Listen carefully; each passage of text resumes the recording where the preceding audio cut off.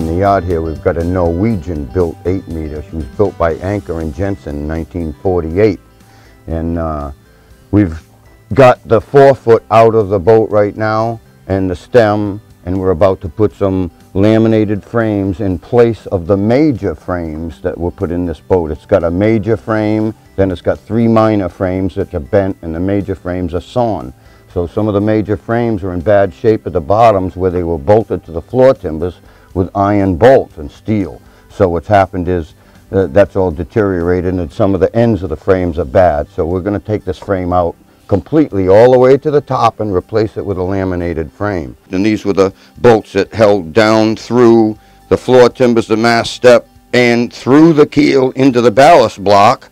So we've removed a lot of bolting, and what we've done is accessed this area and removed some interior because we wanted to replace these frames right here. And these two are actually down into a pocket that's been cut into the keel by myself a little bit wider than the original pocket. They had these tapered pockets that were in there that were kind of different than I've seen in the United States, but we dug the frame heel out of there and recut the pocket. And we've got the frame snubbed right down into the bottom of that pocket and right up against the deck nice and tight by uh, making a pattern of the outside laminate. And uh, you know, we had to know exactly how long it would be because if it was too long, it wouldn't snap into place and it was too short. Obviously, it wouldn't be short of the deck or short down below. Now, these frames here are frames that go right alongside the bulkhead. So the bulkhead's actually fastened off to the frames, or at this point, it's glued onto the framing.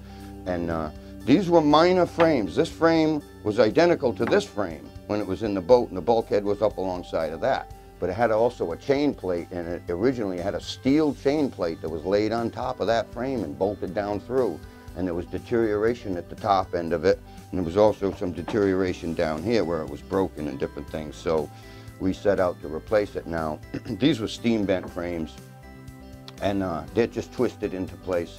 And then it's got some of the major frames would be these frames here much bigger this was an auxiliary frame that was put in sometime afterwards by someone else, and they'd done a good job. They just didn't do enough of them. So we've left that in place. Now this is, going this is a laminated frame here. Now this frame has a requirement that the faces of the frame, the fore and after faces, would be directly athwartships. So that frame is not a rectangle, it's a rhombus. And it lays against the planking, it also lays against the bulkhead, it's laminated out of a number of thin layers, approximately an eighth of an inch, and then it has a progressive bevel sawn saddle that it sits on because what would happen if you just were to take a pile of laminates that were just straight and laid it down on there, try to fasten it down, the head would want to cant off. The laminate will not lay against the hull, and I'm going to give you a little demonstration of that in another bay over here. Okay, I'm here at my ship saw, and I'm just about to push this piece of wood through, and uh, what's going to happen is we're going to progressively bevel it and it's going to come out the other side looking like this. And what I'm going to do at that point is invert the two pieces like that. Now you have a rhombus, but obviously it's not thick enough. So that we're going to place the laminate pile, which are all parallel laminates in between like that. And that's what you have right there. Now that's going to go into the boat with this thicker part aft on the starboard side up like that. And the forward and after faces will be directly athwartships and the inboard and the outboard uh, parallel to each other. The outboard side laying right nice tightly against the plank. 13. We've got the bevels written on the frame and as it goes by the saw blade I'll be calling those numbers out to the man on my left and he's cranking the arbor over to that degree. Now he's paying attention only to his degree readout and me calling him the numbers. And I'm not watching him and he's not watching me. That's what's required. He's got his duty, I've got my duty. Now, the reason why it changes bevel is because it's a different bevel required in every position along that frame. The top of the frame has very little bevel. As it gets to the turn of the bilge, there's more bevel required and quite a bit less at the bottom of the frame. It's the cutoff off the end of the frame and you can see the beveled laminates and a stack of laminates in between. And uh, we've taken a piece of this cut off and put a wood chisel on the glue line and tried to split it apart on the glue line and we can't do it it's substrate failure when you try it, which means that it rips the material right apart. That's how good the glue is. All right, we're spreading the epoxy on the laminates now at this point. Now this is a one-to-one mix and it's pre-thickened already.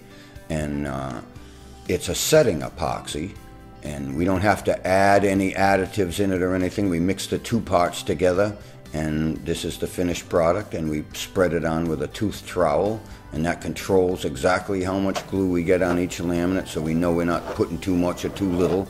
All right, we get another reservoir of it here. Just like that.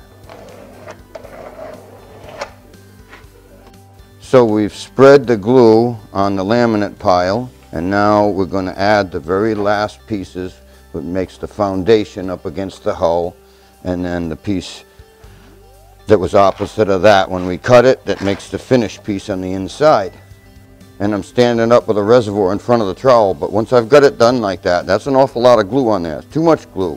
So what I'm going to do is put the trowel down on an angle like that and scoop it along from one end to the other like that.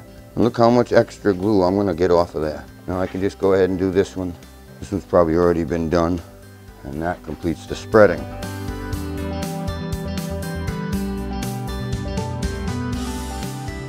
We're going to put a block of wood on the top and a clamp down so it doesn't slide all over creation.